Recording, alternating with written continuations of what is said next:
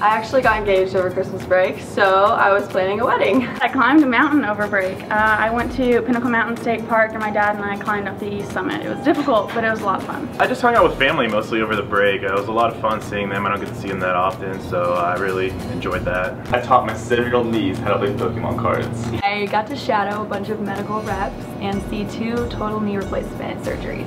Over break, I simply did what most college students do, work. I went to go see Unbroken, and I thought it was really good, but other than that, I just hung out with family and friends. I started taking guitar lessons over break. Uh, I landed an internship with an organization called 1 Million Cups. I worked and then I went to Colorado. So that was pretty fun. I tried to learn how to ski, but it didn't go too well. Over break, I went to Cabo San Lucas, Mexico, and it was beautiful. It was 75, and I wish I was there still. Welcome back. Welcome back. Welcome back. Welcome back.